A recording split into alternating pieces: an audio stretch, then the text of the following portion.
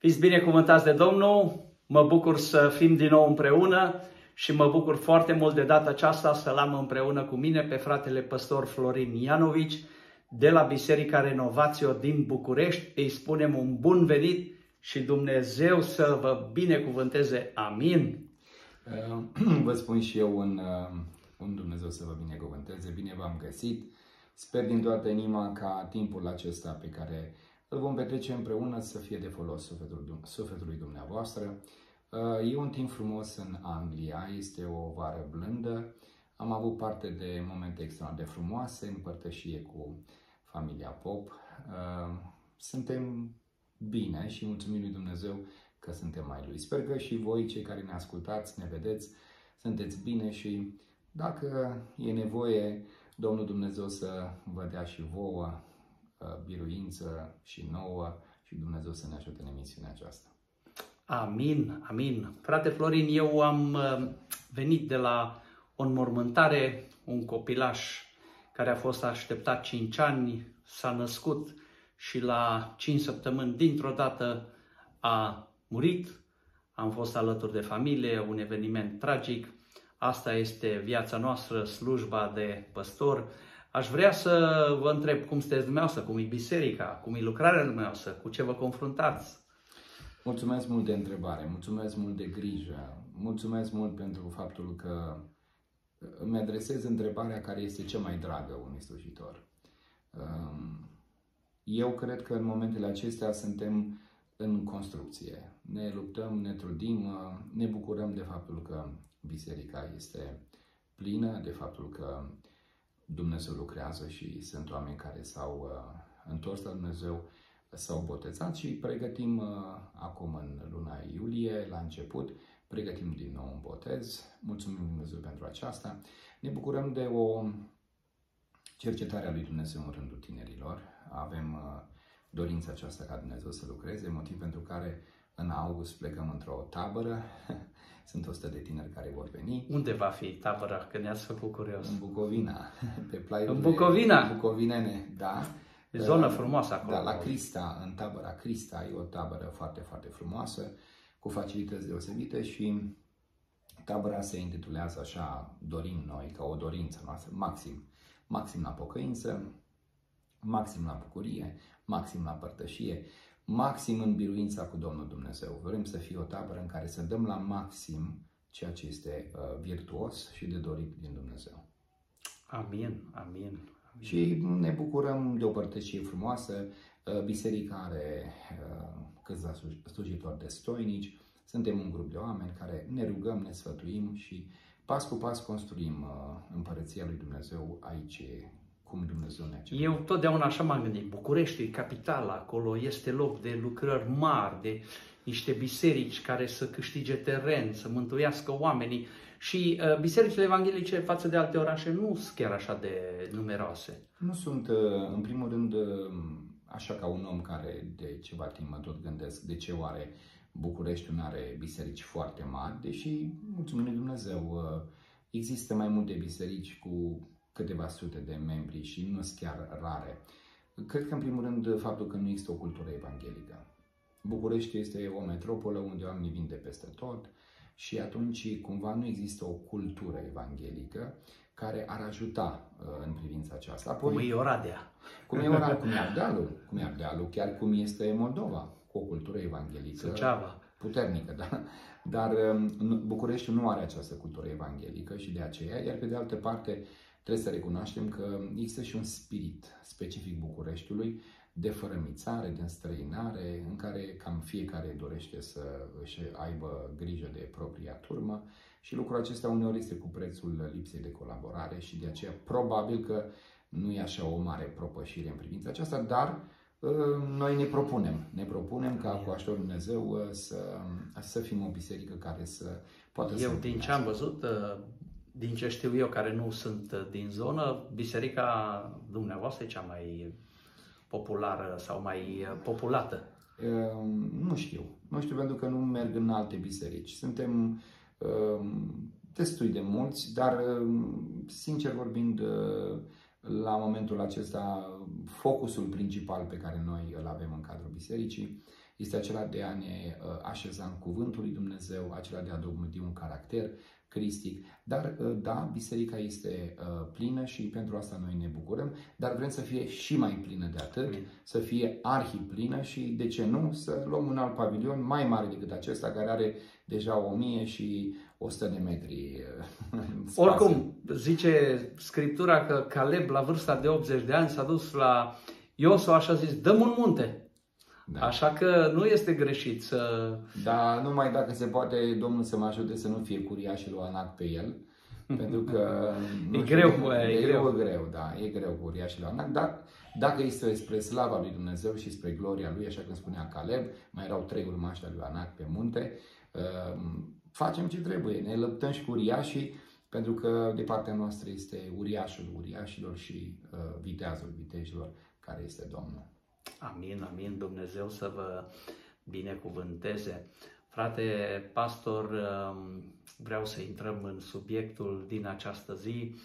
Am uh, văzut și s-a și imediatizat un caz în România de o situație de o dramă într-o familie și în această zi m-am gândit că este potrivit să vorbim uh, despre violența în familie. Nu neapărat să analizăm cazul acesta, ci în general să vorbim despre această problemă și dacă vreți să introduceți subiectul, fiind și mai experimentat. Da, eu am, uh, am uh, lucrat și lucrez în protecția copilului și cu familiile vulnerabile de aproape 25 de ani.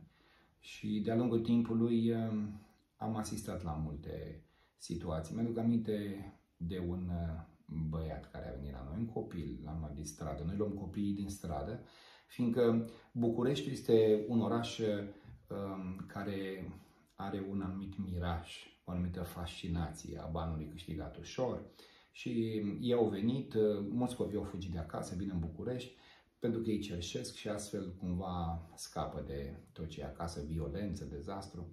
Și băiatul ăsta, uh, Alexandru, a venit la noi și noi uh, îi lăsăm o perioadă, după care încercăm să le găsim familia, să le găsim rădăcina dar îi luăm ușor, pentru că la început ei nu prea vor să ne spună.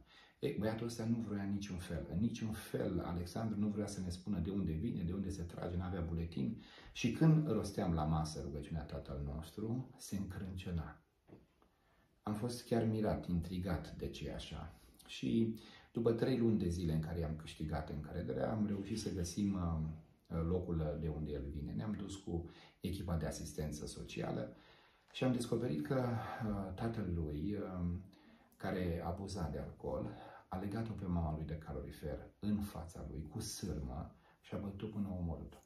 Hmm. Și ori de câte ori noi spuneam rugăciunea Tatăl nostru care este în cer, el își aducea aminte de Tatălui pământesc și se încrâncena. Hmm. Uh, situațiile acestea, din nefericire, nu sunt rare. Uh, am mai trăit drama uh, unei situații în care directoarea de lângă fundația noastră, în Centrul Social Pinocchio, o femeie excepțională, o, cunosc, o cunoșteam de multe vreme, a făcut teologia, o femeie foarte inimoasă, o tânără, puțin mai tânără decât mine. Uh, mergeam, ne întâlneam la un ceai, povesteam despre necazuri, copii, care fac, care dreg. Și aveam multe lucruri în comun. S-a căsătorit și a luat un bărbat violent, foarte violent, și mai toți îi spuneau, măi, ai grijă că ești în pericol, ai grijă. El iubea. Și uneori iubirea te face să fii mai puțin atent la lucrurile din jurul tău, să treci peste niște semnale de alarmă. Și Sorina, că de ea este vorba, a fost găsită la un moment dat, a fost un șoc pentru noi și ea și mama ei au fost omorâte cu multe lovituri de cuțit și polițiștii au fost tulburați pentru că de pe hol până în baie, au fost râte, ele au fugit, s-au baricadat și au fost omorâte de acest soț al Sorinei, care era extrem de gelos. Din nefericire, dramele acestea cu ușile închise, numai Dumnezeu le știe, dar se pare că România este o țară în care violența domestică, din nefericire, este des întâlnită. Uh, deja din statistici uh, care sunt vretnice de crezare, 51% dintre familii reclamă uh, abuzul și violența domestică. Fie că e vorba despre soț, soție, fie că e vorba despre copii, Fie că este vorba despre lovituri, fie că este vorba despre agresiune la nivel verbal, fie că este vorba de alte metode de intimidare, pentru că noi ar trebui să delimităm foarte clar violența, când vorbim despre violență, nu înseamnă doar să-ți spargă capul sau să te lase cu vânătăi. Violența poate să fie și o formă de agresiune, de manipulare, de privare. Sau să strigi tare, nu? Sigur, sau privare, de exemplu, dacă un soț e abuziv, nu mai de mâncare soției, nu mai dă voie să intre în casă, nu mai dă voie să... Și, și privare. Poate fi o privare, o rest... abuz. un abuz din acesta în care să ți se restricționeze dreptul la normalitate. Deci, din punctul acesta de vedere, violența uh, îmbracă foarte multe forme și, din nefericire, se pare că este un semn al sfârșitului, pentru că oamenii s-au sălbăticit, oamenii au devenit o Deci acest aspect este în lista de lucruri care vor simboliza comportamentul urman la final? Da, din moment ce uh, lipsa iubirii, dragostea care În uh, Sodoma erau foarte violenți, au vrut să spargă casa lui. Da, și foarte bine că ai menționat episodul acesta, pentru că violența celor din Sodoma și din Gomora era uh, legată de patima lor. Atât de mult își doreau să se împreuneze cu cei ce erau în casă, încât deși au fost loviți cu orbire, ei încă mai stăteau și căutau ușa. Deci imaginea acesta unor oameni care au fost loviți cu o pedeapsă divină, orbind și care căutau totuși ori fiind să intre în casă, e șocantă pentru înțelegerea nebuniei care poate să stăpânească un om atunci când este împătimit. Deci iată că violența are foarte mult de a face cu neînfrânarea. Pentru că lipsa de control în poftele și plăcerile vieții duce la un comportament neînfrânat. De altfel, uh, un om care reușește să fie uh, un om al păcii, un om care reușește să... Deci aici deja introduce și factorii care generează. Sigur, da. E bine să menționați cât mai mult să vă vină în minte. Da, în primul rând eu consider că principalul factor este acela a unei uh, vieți în care uh, te așezi pe tine în centrul tuturor lucrurilor. Hedoismul, iubirea de sine. Omul care, hedonismul, omul care pur și simplu trăiește pentru plăcerea lui. Și uh, plăcerile înnebunesc, pentru că nevoia aceasta de a le satisface e uneori cu prețul uh, abuzului uh, celui de lângă tine. Haideți să luăm un exemplu. Copilul tău e învățat cu cola și cu ciocolată și l-ai învățat cu, cio- cu ciocolată cu, și devine, devine dependent. Ei nu-i mai dai se trântește prin casă, sparge, urlă. De ce? Pentru că el uh, este învățat cu, acest, uh, cu această plăcere care îl controlează. El nu mai poate să o stăpânească. De aceea vă spun că oamenii lui Dumnezeu, în primul rând, sunt oameni cu o disciplină extraordinară și cred că ar trebui în momentele acestea să înțelegem că de la cele mai simple lucruri, lipsa de cumpătare. Da? Deci am putea zice aici că postul și rugăciunea, care sunt niște discipline, ar trebui să fie parte din viața noastră, în special dacă nu te poți controla și ești violent. Da, eu cred că mm, trebuie să fie patru factori. Postul, rugăciunea, care sunt discipline, dacă vreți, interioare, sunt discipline care te privesc, alături de studierea Cuvântului Dumnezeu și părtășia cu Sfinții, pentru că vom vedea cum factor Uh, care duce la violență domestică și de alt tip este lipsa educației. Dacă nu ai avut un model, nu știi, la, nu știi cum să te porți, o să te porți așa cum ai văzut la cei dinaintea ta. Dar revenind acum la uh, lipsa de înfrânare. Deci oamenii vremurilor din urmă vor fi neînfrânați, neîmblânziți, da. neîmblânziți și neînfrânați. Asta înseamnă că, de fapt, de la cele mai mici lucruri, da? că nu reușim să ne înfrânăm de la statul prea mult la televizor, de la mâncat compulsiv, de la vorbire de rău. Noi deja deschidem sufletul nostru către un dezechilibru care nu știm unde se va opri. De aceea omul lui Dumnezeu trebuie să-și impună de fiecare dată să fie cumpătat. Vedeți, unul, unul dintre aspectele fantastice care vorbește despre modul în care așteptăm împărăția lui Dumnezeu, deci omul care este în așteptarea cerului, este acesta. Așteptăm cu dreptate, evlavie și cumpătare fericita noastră nădejde. Cumpătarea este trecută în lista unor virtuți fantastice la nivel de așteptare. Aici intră și cu cât, uh, cât mâncăm, nu se prea vorbește da. în biserică. Nu, nu, nu. Bă, de ce mâncați așa de mult? De ce sunteți grași? Asta niciodată. Am, uh, am avut zilele acestea în Londra lângă mine, unul dintre cei mai frumoși oameni sufletești și mai blânzi, uh, Ionel, și uh, singurele noastre certuri au fost când el bea Coca-Cola în neștire. Și, uh, și la un moment dat când încercam să-i explic cât de rău face Coca-Cola, se purta ca un copil alintat. Și am spus, mă, de aia nici nu poți să te schimbi, că tu nu e în serios lucrul ăsta. Adică până când doctorul nu ne spune, vezi că lucru... Atunci facem schimbări. Atunci facem schimbări. Dar acum revenim la factorul acesta. Deci, neînfrânarea, neînfrânarea uh, la un moment dat uh, este uh, slăbește, slăbește controlul.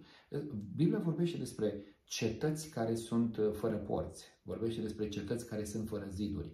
Ei, oamenii uneori sunt ca o cetate lipsită de poartă, de ziduri, intră cine vrea, iese cum vrea, ă, ești omul ă, care reacționezi imediat, te aprinzi imediat, nici nu știi, mă, nici nu știu cum să-l iau, nici nu știu cum să mă por cu el. De ce? Stări bruște de, ă, de atitudine, schimbă de la una la alta, acui e vesel, acui e trist, acui e mânios. De ce? Lipsa de cumpătare, de disciplină. Noi trebuie de fiecare dată, Dumnezeu să ne ajute, mai ales că a fi oameni creștini presupune că suntem o lumină și cred că în perioada aceasta oamenii se uită la creștini căutând să găsească la ei ceea ce nu mai există în lumea asta consumistă, lumea aceasta care tot timpul într-o risipă și Hristos vorbea despre faptul că cine nu adună cu mine risipește și cred că mai ales în trafic, da? că mă uitam zilele astea în Anglia, fai ce trafic, în București de asemenea, în momentul când ești un om echilibrat, ești un om care te uiți spre cer, tu nu poți să faci uh, ce fac alții, să urli, să țipi. Să... Și dacă oamenii ar găsi la credincioși echilibru, cred că ar fi foarte atrași de biserică. Noi și când invităm pe oameni la biserică, suntem uneori, iertați-mă, parcă suntem în pragul isteriei. Adică suntem mult prea Abuziv. virulenți în felul nostru de a fi și debitul verbal și câteodată oamenii se sperie de lucrul acesta.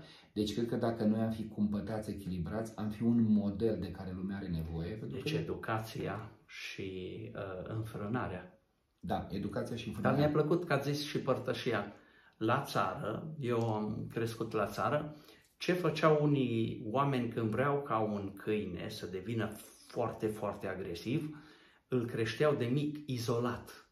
Și când ieșea în lume, era foarte violent și uh, da. rupea tot. Cred că și... Da, omul care este izolat uh, și care nu, uh, nu a învățat e parte se... dintr-o comunitate. Se sperie. De fapt, câinele când iese dintr-un loc izolat într-un loc uh, care este aglomerat, el reacționează în frică. Pentru că frica îl determină, el e ceva care nu a înțeles, nu vede și are impresia că toți cei din jur îl atacă.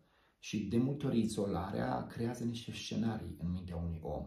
Și ați văzut că de multe ori izolarea vine cu scenarii de victimizare, de scenarii din aceasta prin care simți la un moment dat că ești vânat, că cineva are ceva împotriva ta, că cumva ți se întâmplă lucruri rele. Întotdeauna frica, ă, ă, care vine ca urmare a izolării, exacerbează toate lucrurile obișnuite. Tot umbra e desperiat, totul devine extrem de greu. Gândirea pesimistă. Gândirea pesimistă și mai ales ideea aceasta de, de scenarii, foarte multe scenarii. Oamenii trăiesc cu foarte multe scenarii. Dar acum să mergem la, un al doilea, la o a doua cauză la care, pe care aș vrea foarte mult să o discutăm. De ce oamenii sunt violenți? De ce ne permitem cu atâta ușurință să țipăm, să urlăm, să trântim, chiar să lovim?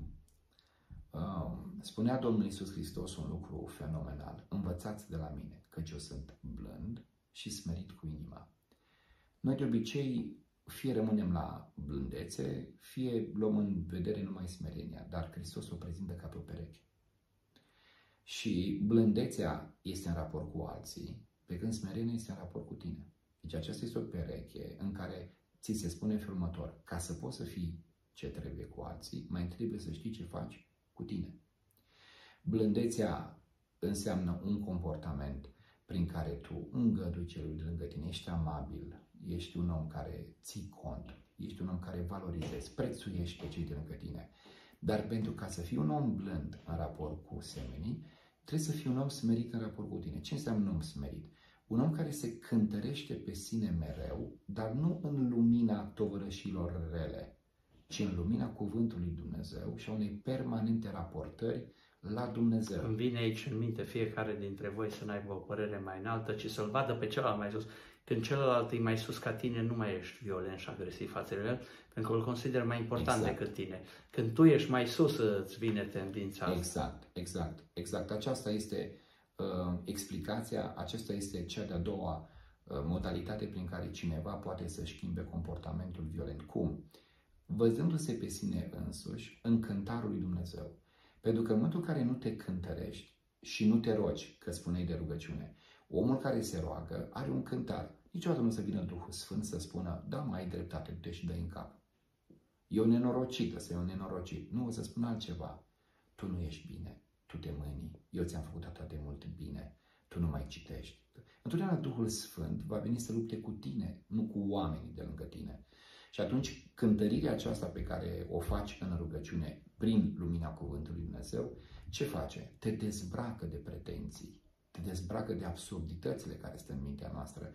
De ce sunt oamenii violenți? În primul rând pentru că au nevoie de împlinirea unor plăceri și atunci patimile acestea îi fac la un moment dat să fie neînfrânați. Domnule, ei neapărat trebuie să-și împlinească el pofta aia lui care l-a nebunit sau pofta ei care a nebunit-o. Doi, uh, ei nu se cântăresc, adică ei abuzează de cei din jurul lor pentru că e ușor să-i transform pe oameni din subiect în obiecte. Există o da. capacitate a unui om, există capacitatea asta uh, când intervine lipsa cântăririi, când oamenii devin mijloc. Mijloc. Da. Tu ai folosește pe cine poți, pe care l-ai prins, păcălește-l, înșeal și aceasta este tot o formă de violență. Aici cu când Duhul Sfânt îți spune, eu ca și pastor am întâlnit mulți oameni care au zis că așa mi-a descoperit Domnul. Dar tot ce contrazice Biblia nu este Duhul Sfânt. Da. Ca de exemplu, vreau să uh, părăsesc soțul că așa mi-a descoperit Domnul, nu-i de la Domnul.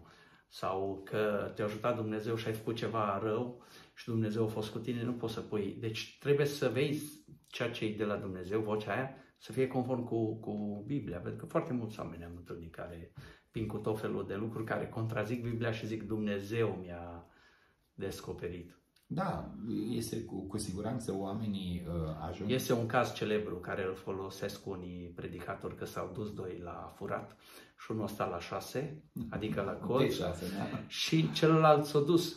Și uh, atâta de frică i-a fost încât tot o zi, Doamne ajută-mă, Doamne ajută-mă, Doamne ajută-mă. S-a întors cu ce a furat și celălalt de la colț, nu, cum a fost? Ce mai așa de bine a fost, parcă și Dumnezeu a fost cu mine.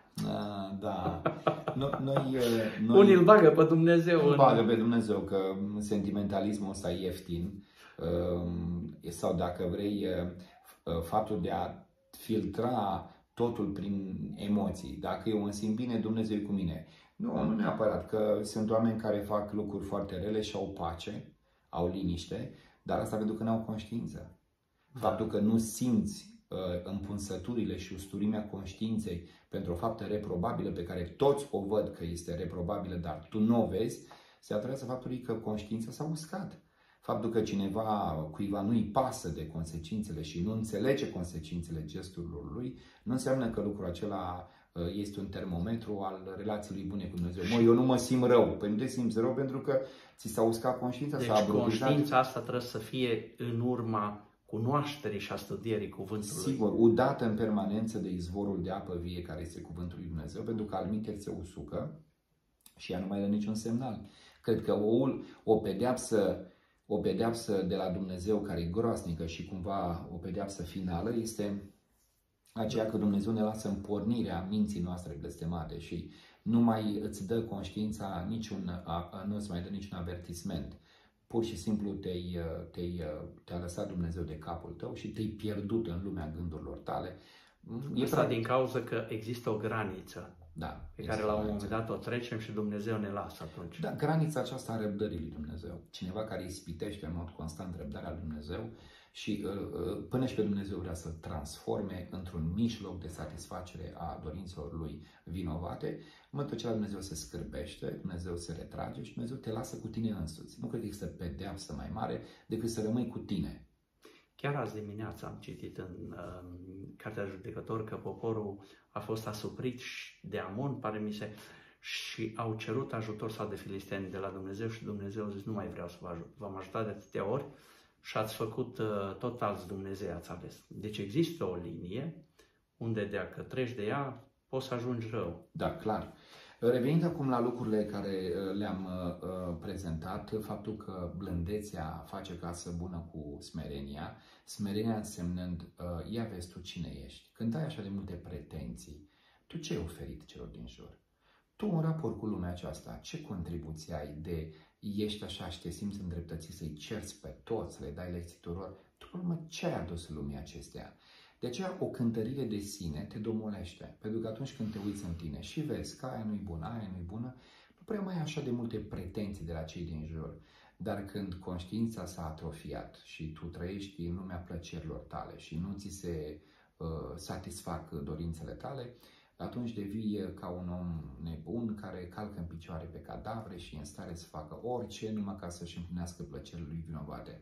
Știu că mai există un aspect extrem de important uh, pe care aș vrea să-l discutăm.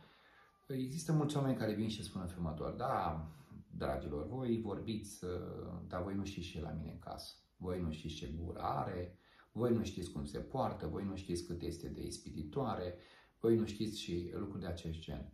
Uh, cu siguranță e foarte important ca într-o familie o soție care reclamă faptul că soțul e violent să înțeleagă o lecție importantă. Violența nu este numai să uh, iei palme sau spuni.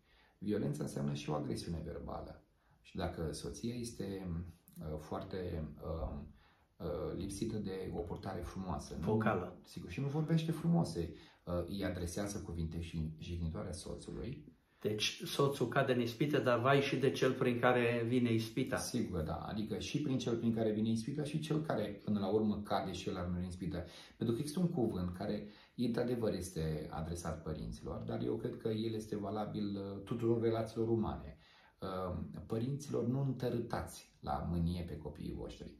Și atunci întărâtarea înseamnă cumva ca să-i ispitești. Pentru că cum poți întărâta un copil la mânie? Când îi cer să nu fumeze și tu ești cu țigara în gură. Când da. îi cer să fie ceva, ce tu ești exact opusul. Și atunci copilul e întărătat la mânie pentru că una aude și alta vede.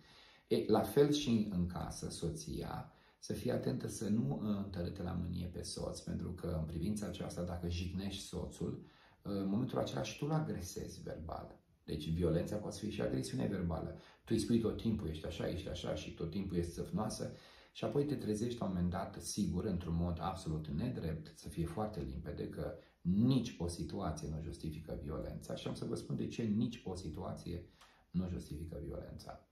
Mai ales când vorbim despre familie, mai ales când vorbim despre soție sau soț. Înainte ca soția să fie a ta, ea este a lui Hristos. Și mai presus de faptul că este a ta, ea este a lui Hristos. E mădularul lui Hristos. Și atunci, dacă e mădularul lui Hristos, tu nu calci în picioare mădularul lui Hristos. Amin. Și aici este un lucru esențial de înțeles. Deci, dacă cea de lângă tine nu mai este a ta prin comportament, ea totuși rămâne a lui Hristos. Că legământul făcut cu Dumnezeu este unul în care dacă noi nu ne ținem partea, Dumnezeu totuși o ține. Și atunci, din frică și din respect față de cel care uh, o are, este capul trupului și ea este mădular în trupul lui Hristos, și apoi tu nu poți să te substitui Hristos, să spui ea nu mai este sau ea nu mai are dreptul să fie a lui Hristos. Dumnezeu știe să tragă linie. Deci, mai presus de toate, când vorbim despre copii, violență, semeni, să nu uităm că mai întâi de toate ei sunt al lui Dumnezeu. Înainte ca cel din casa ta să fie al tău, înainte ca să ai coleg la serviciu, întâi de toate sunt creați de Dumnezeu, nu se aparțin ție, îi aparțin lui. Este un psalm care zice că al lui Dumnezeu este lumea și toți locuitorii. Exact, și atunci tu nu ai dreptul să te porți ca și cum ai fi stăpânul cuiva. Deci tu nu ești stăpânul cuiva. Stăpân e Dumnezeu și Dumnezeu este olarul, ia lutul și dă forma pe care Dumnezeu o, o dorește. Deci din punctul acesta de vedere, tu nu poți să te porți ca un stăpân al cuiva că noi toți suntem la rândul nostru creați de Dumnezeu. Nici noi nu avem uh, putere peste suflarea vieții. Și atunci acest aspect uh, de om care se poartă ca un stăpân în aproape lui lui este unul prin care Greșit. încalci ordinea lui Dumnezeu. Sunt foarte mulți oameni care cred că dacă au bani pot să urle la angajaților. Sunt foarte mulți oameni care cred că dacă au făcut ceva, nu știu, au uh, făcut să fie pâine pe masă, au dreptul să își bată copiii sau alte lucruri de acest gen. Sau sunt oameni care să discutăm și aspectul acesta. Tendința aceasta uneori de a cere celui de lângă tine ceea ce tu n-ai reușit să fii. Sunt foarte mulți părinți care ar vrea copiilor să nu repete greșelile pe care ei le-au făcut în tinerețea lor sau să nu treacă pe unde au trecut ei. Și lucrul ăsta este bun până la un punct. Dar dacă lucrul acesta îl faci astfel încât copilul tău este la un moment dat apăsat, copilului tău îi creezi o presiune, trebuie să înțelegi că de fapt obții inversul. Ce este până la urmă violența, agresiunea verbală? Este un dialog, este un mod pedagogic de a schimba pe cel de lângă tine, înțelege cel de lângă tine că tu vrei să îi faci bine? Nu, e un capăt de dialog. Deci violența în orice formă nu te ajută să te schimbi. Te sperie, te înspăimântă, te face să te simți ieftin, te face la un moment dat să trăiești sub teroare, dar nu te schimbă. Dumnezeu are uh, un cuvânt fantastic în Ioan. În dragostea desăvârșită. Nu există frică. Omul care este violentat, omul care este abuzat, trăiește mereu cu teroarea în suflet. Ori frica nu e mediul în care omul se schimbă.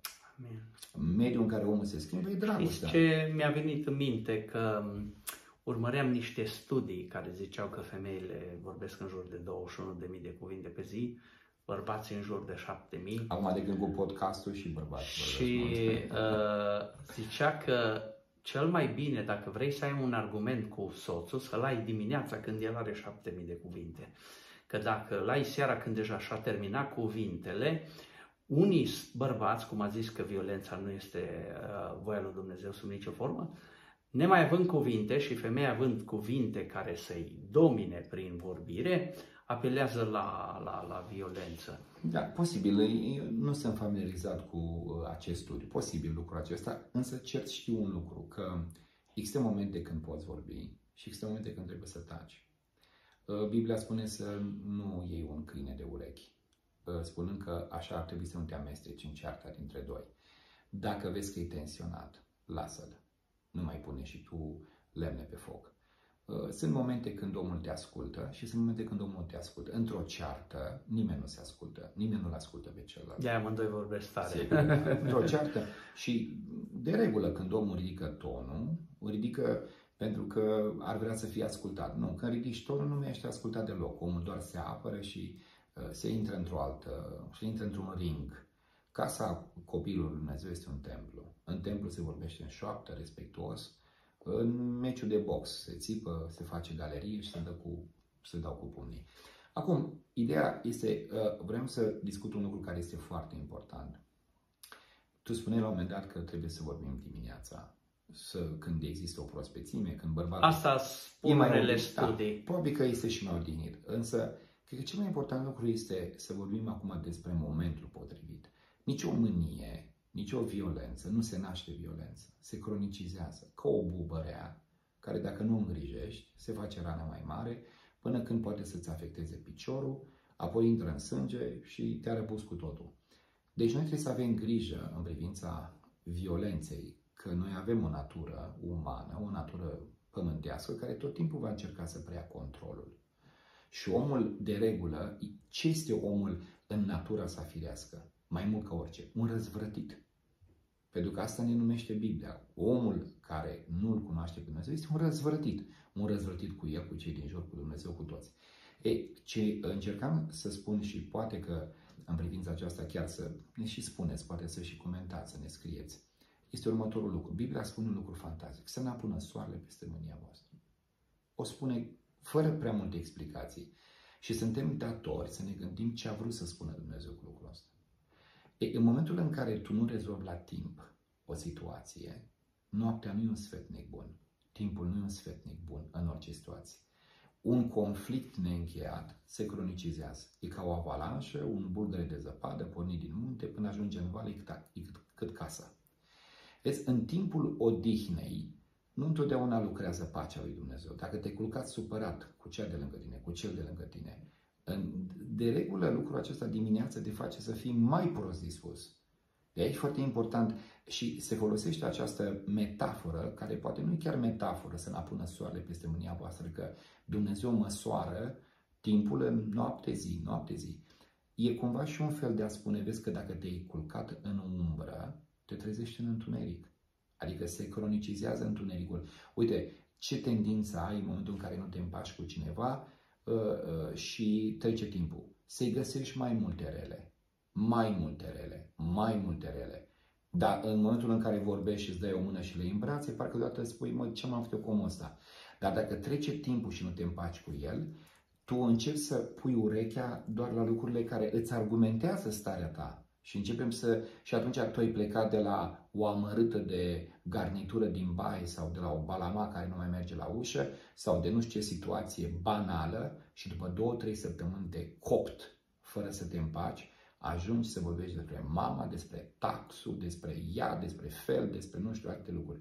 De aceea să nu ne jucăm cu lucrurile acestea, să ne iertăm unii pe alții de îndată, să căutăm pacea de îndată și vreau să vă propun un mod de gândire. Noi știm că Dumnezeu este, cel puțin El se definește în două caracteristici de bază. Prima, Dumnezeu este Sfânt. Și doi, Dumnezeu este dragostea. Întotdeauna există un conflict între sfințenia lui Dumnezeu care aduce dreptatea și dragostea lui Dumnezeu care vine cu iertarea. Și în Dumnezeu chiar este un conflict, pentru că El iubește făptura pe care a creat-o, dar făptura s-a răzvrătit.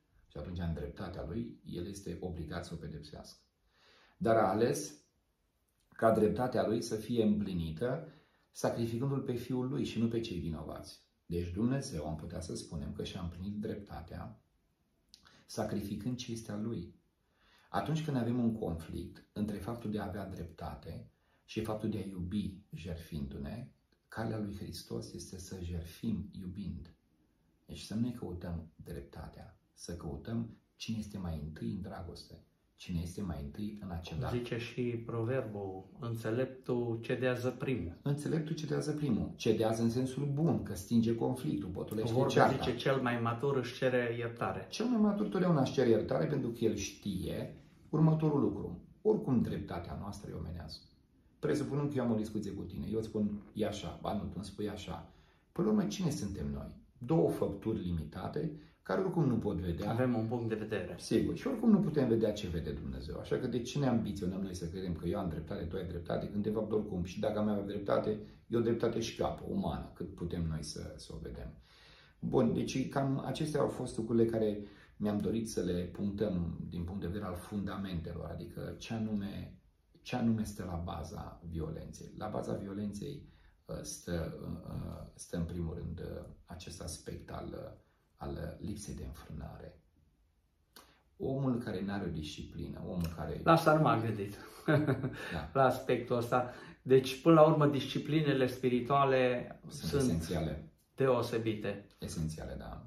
Omul neînfrânat care dorește să satisfacă Omul patima. slobot, Da, cu orice care nu are preț. reguli, nu are principii. Orice pre- E ca cel, uh, dacă ți-aduci tu aminte, uh, mie îmi plac desenele anima, animate, când ochii montanului Tom se transformau în dolari. Făceau așa. Adică omul care nu mai vede în afara plăcerii lui altceva. El are o unică direcție, să-și satisfacă plăcerea.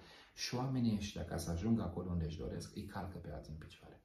În al doilea rând este faptul că nu suntem, că nu suntem smeriți. Adică smerenia presupune o cântărire permanentă pe care o Să facem. vezi pe tine mai jos decât pe celălalt. Da, adică e clar spune Niciodată să nu vei n-aveți trata pe păreri unul pe care îl vezi mai sus decât pe tine cu dispreț. cu, cu răutate sau Exact. de sus. Că dacă te ești mai jos, nu mai ai cum să-l tratezi. Exact, exact. Și asta este cel mai important lucru. că Calea credinței este calea prin care Dumnezeu îți spune mereu. Cântărește de pe tine și lasă-l pe altul că îl cântăresc eu. Deci smerenia face ca să bună cu blândețea pentru că Mântuitorul a spus învățați de la mine. Și când a spus învățați de la mine, de fapt spune în felul următor. Uitați-vă la felul meu de viețuire, la patimile pe care Hristos le-a îndurat pentru noi, la modul cum a reacționat când a fost abuzat, uh, aprodul uh, marului preot, l-a pălmuit pe Hristos. Dragii mei, nu știu voi, dar eu în momentul acela mi-a fiert sângele în vene, ca bărbat, ca o slugoi, un oportunist, l-a pălmuit pe Isus Hristos. Și atunci Hristos Da. Au jucat bâza cu el, l-au Da. legat la ochi. La... și cât de calm s-a uitat și a zis, dacă am greșit cu ceva, spune cu ce am greșit. Dar dacă n-am greșit, de ce mă bați? Și ce a făcut Hristos? A trecut de la de ce-ți permiți, de la jigniri, a trecut la a face pe om să conștientizeze răul pe care l-a făcut. A căutat să-l câștige pe om oferindu-i argumente, nu insulte, nu inventive, nu tot felul de cuvinte disprețuitoare. Uh, și asta este important și uh, cred că lucrul ăsta Dumnezeu să ne ajute să putem să-l, să-l practicăm. Deci să fim oameni înfrânați, cumpătați. Doi, să fim oameni care să ne smerim sub mâna tare lui Dumnezeu și astfel nu o să mai avem așa de multe pretenții la cei care sunt uh, de lângă noi. Și iar este extrem de important să rezolvăm la timp lucrurile, pentru că nerezolvarea lucrurilor la timp duce o cangrenă care se întinde, nu faci nimic. Și de aia se aude după aia că ăla s-a exact. bătut cu ăla, ăla exact. i-a dat în cap la ăla, s-au adunat multe da. și se ajunge la un apogeu, se... la un vulcan. Exact. Moise zice că era cel mai blând om, dar odată când s-au nervat, au rupt tablele. Da, și e, e foarte interesant episodul ăsta, că prima dată degetul lui Dumnezeu a scris pe, uh, a scris pe tablele de piatră uh, poruncile a doua oară l-a pus să sape el. Pentru că nu mai spargi cu ușurință niște table la care ai muncit tu. Da. Că uneori când luăm foarte repede niște lucruri pe, pe nemuncite, atunci ne permite să dăm cu ele de pământ. Dar când știi cât te-a costat ca să le obții, nu mai ești atât de risipitor. Și să nu uităm lucrul acesta pe care îl așezăm așa ca un alt fundament, că înainte ca omul de lângă tine, uh, înainte ca omul de lângă tine, asupra omului de lângă tine, să ai vreun drept, că e soție, că e copil, îl are Dumnezeu. Amin. Tu nu ești stăpânul omului. Dumnezeu este stăpânul lui. Tu nu poți să te porți în felul acesta, pentru că nu tu l-ai făcut. Lutul acesta nu e al tău, e al Dumnezeu. Dacă El vrea să-l pună din nou pe roată, e problema lui Dumnezeu, dar n-ai dreptul. Și tu și eu suntem făpturi, trăim sub soare, avem un creator, așa că soția ta, copilul tău, vecinul tău, mama ta, poate chiar și neprietenul tău, mai întâi toate sunt făpturile lui Dumnezeu și Domnul are dreptul răzbunării, Domnul are dreptul să intervină, Domnul, nu noi, nu noi, nu luăm locul lui Dumnezeu și să facem uh, lucruri care nu sunt în, uh, nu, nu ne sunt date nouă, mai ales când uh, vorbim Deci despre... nu e valabilă vorba, eu te-am făcut, eu te omor. Nu, nu, nu, nu, nu ne-ai făcut tu. Dumnezeu. Nu, Dumnezeu, pentru că suflarea de viață e dată de Dumnezeu și Nimeni nu știe, nimeni nu vede. Bine, sigur că în sămânța omului există această viață pe care Dumnezeu o dă, dar Dumnezeu a Și Asta e tot o formă de mândrie, nu? Este o formă și de, de aroganță, da, și o formă de, uh, de încredere în sine. Uh, deci ce îți atribui ție calități care nu există, adică prerogative care nu există. Și asta este acel... Eu, eu m-am uitat, de exemplu, am, când uh, tu mai mi-ai spus că vrei să vorbim despre violența domestică, m-am uitat să văd cât, ce exemple, nu că nu m-aș fi gândit și până atunci, dar parcă mai mult ca oricând, să văd un soț în Biblie care și-a văzut soția. N-am găsit. N-ați găsit într-adevăr? Nu, nu. Am găsit pe Cain care l-a omorât pe Abel, am găsit mânii, am găsit, dar n-am găsit vreun soț care în Biblie, despre care în Biblie să spună că și-a bătut soția. N-am găsit. Dai seama? Eu îmi dau seama și asta m-a făcut să mă gândesc la niște lucruri, pentru că eu cred că nici nu intră în tiparul gândirii acesteia de om credincios uh, să facem lucrul acesta, pentru că e un lucru care nu știu dacă poate fi trecut cu ușurință și dacă se poate repara o situație, o familie în care în mod constant uh, există acest mod de manifestare. E foarte, foarte greu ca un om să treacă peste acest gen de teroare, de frică, dar nu mai spun de rușine. Deci sunt foarte multe situații în care soțiile nu vorbesc despre ce li se întâmplă de rușine. Rușinea aceasta, umilința publică.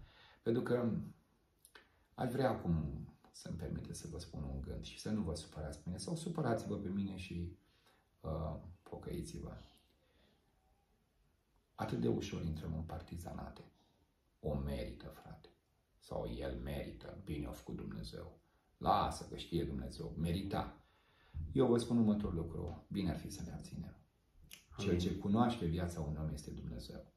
Nu ne facem partizanul nimănui, dar nici nu ne apucăm să uh, facem galerie violenței. Vreau să vă pun o întrebare tuturor celor care ne ascultați. Cine este numit distrugător, nimicitor? Cine are caracteristica ucigașului și a violenței? Răspuns. Satana. El de la început era un ucigaș. Ucigaș înseamnă violență, înseamnă sălbăticie.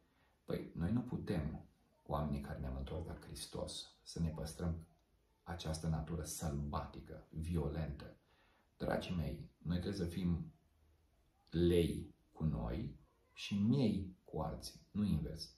Pe mine să mă argumentez, Domnul mă iartă, Domnul mă iartă, Domnul mă iartă, iar pe altul Dumnezeu nu-l iartă și trebuie să-i dai un cap. Deci, din punctul ăsta de vedere, să fim, cum spune Dumnezeu, suntem copii Dumnezeu, dar noi să fim aspri cu noi, aspri cu trupul nostru, aspru cu lucrurile care le aștept de la mine și îngăduitor cu alții. Pentru că atunci când facem lucrul acesta, dovedim că am moștenit natura lui Hristos. Hristos întotdeauna, când a găsit o formă de abuz, o femeie târâtă, luată de păr, bătută, scuipată, gata să fie lapidată cu pietre, Hristos a dus discuția în așa fel încât ce a făcut? A conștientizat pe oamenii aceia de faptul că ceea ce îi făceau îi punea într-o situație de pericol cu privire la viitorul lor veșnic.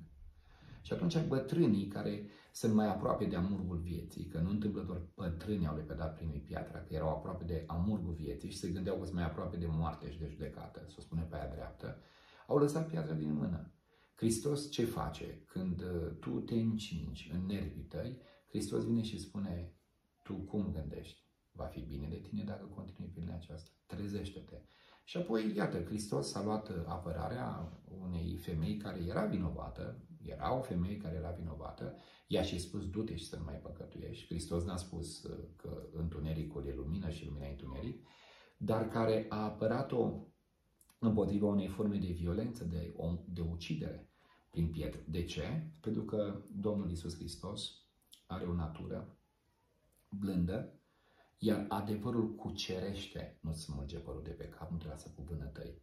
Adevărul te cucerește, adevărul te schimbă, adevărul îți dă puterea să te vezi așa cum e și să iei atitudini cu privire la tine. Adevărul nu se lasă cu uh, capete sparte, ci adevărul se lasă cu inimi străpunse.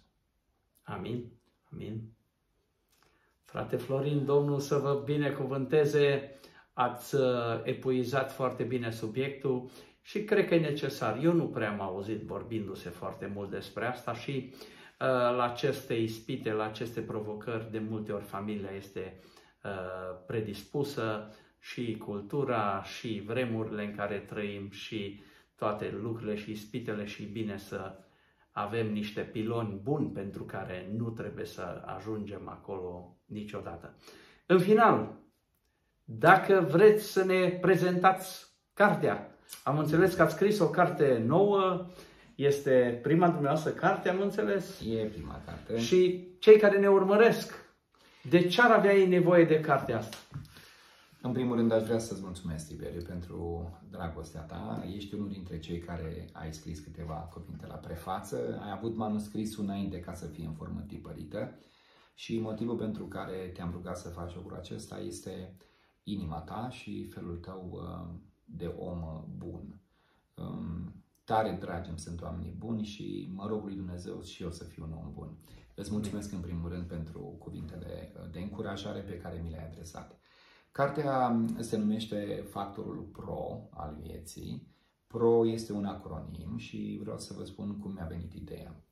Eram în biserica pastorului Virgil Neagu din Dubrăveni și uh, era invitat și domnul uh, ministru al culturii Răzvan Teodorescu. Și în seara aceea am predicat uh, din textul care vorbea despre întoarcerea lui Iacov acasă și am intitulat mesajul Diplomație eșuată pentru că atunci când Iacov s-a confruntat cu răzbunarea fratelui său Esau, imediat a elaborat niște strategii, a trimis o suită de oameni cu daruri, cu vorbe miroase pentru că așa este omul când dă de greu. Evreu adevărat. Da, diplomația, diplomația aceasta. Și după ce am terminat mesajul în acea seară, domnul ministru, domnul Răzvan Teodorescu a venit și a spus, domnul pastor, vă felicit, am rămas puțin mirat, am zis de ce, sau nu, mă gândeam de ce. Și dânsul a spus, pentru abilitatea de a lua o narațiune veche și a o transpune în termeni contemporani, Ehm, făcând ca adevărul uitat să devină un adevăr actual. Și atunci mi-am dat seama că cele mai frumoase povești sunt în Biblie, dar nu sunt povestite în așa fel încât să le înțelegem. Și atunci cartea aceasta, am, în cartea aceasta sunt numai povești biblice, luate și repovestite, astfel încât să creioneze drumul spre o viață biruitoare. poate sună pretențios, dar toți ne dorim să fim la, în viața biruitor. De ce PRO? E un acronim. P vine de la perioade, R vine de la regiuni și O de la oameni. Altfel spus, perioade înseamnă timp, regiuni înseamnă locuri și oameni înseamnă relații. Are trei părți mari în care am povestit biblic, în termeni actuali, ce înseamnă o viață reușită. Să fii în locul potrivit, la timpul potrivit, lângă oamenii potriviți. Și am discutat uh, despre câteva uh, uh, lucruri care cred eu că o să ne ajute, și anume faptul că uh, timpul potrivit uh, înseamnă ce nu moare în viață, cum putem face ca putem da timpul înapoi, ce putem recupera, cum putem răscumpăra vremea că zilele sunt grele. A, avem și povestea unui sfânt care nu-i trecut în Biblie, unui sfânt pe care nu-l iubește nimeni. Sfântul așteaptă. Pentru că e foarte important să știi ce faci cu așteptările tale.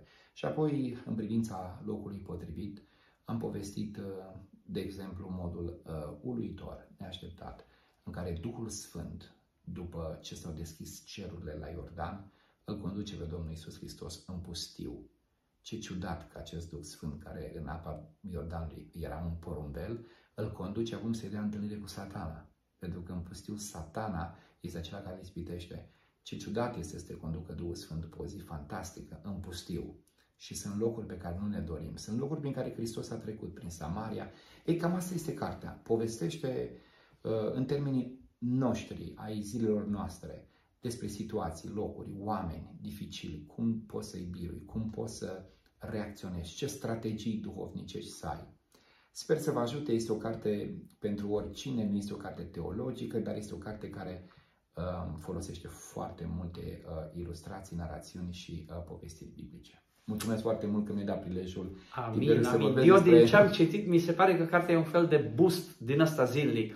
Dacă vrei să începi ziua la lucru, mergi, poate ai colegi, ai tensiune, ai responsabilități acasă, familie, cartea asta te duce într-o altă lume și te face să fii mai pozitiv cu Dumnezeu, cu luptele pe care le duci, un fel de boost spiritual și ați scris-o așa foarte interesant încât uh, te captivează, nu-i plictisitor, e, e foarte atractiv modul în care ați scris-o. Moldovean, noi ne-am născut cu traista de povești uh, deja pe umăr. Vă mulțumim, Domnul să vă binecuvânteze. Căutați cartea aceasta. Unde o pot achiziționa cei care ne urmăresc? Pot să, pot să apeleze la Biserica Renovație, deocamdată doar acolo se găsește. Noi avem un serviciu prin care o expediem uh, și... Uh, deci, încă o dată, dacă vedeți cartea aceasta undeva pusă în vreo librărie, este cartea despre care se vorbea aici. Ce puteți este să luați legătura cu Biserica Renovație fie pe Facebook, fie pe internet, exact. prin e-mail și să o comandați. Sau pe unde îl vedeți pe fratele păstor la predică, posibil să aibă și această Toată vara aceasta în România, Timișoara, Oradea, um, Arad, oriunde voi merge, cartea va fi cu mine și la orice evangelizare mă voi duce, voi avea cărți cu mine pentru cei care sunt interesați. E un bun prilej de a da această carte, mai ales Uh, celor care, uh, pe care doriți să-i aduceți spre biserică, pentru că este o carte scrisă pentru toți. Nu e o carte confesională, ci e o carte care vorbește despre lucrurile fiecărui om și despre soluțiile pe care Dumnezeu din cer ne le oferă. Închei cum zice o vorbă, cine are carte are parte, dar eu adaug, cine are cărțile și cartea potrivită are parte. Domnul să vă binecuvânteze și ne vedem într-un material următor. Mulțumim fratelui păstor, Dumnezeu să-l folosească în continuare în lucrare și să-i dea mult har în tot ce face. Amin! Vă îmbrățișăm, dragilor!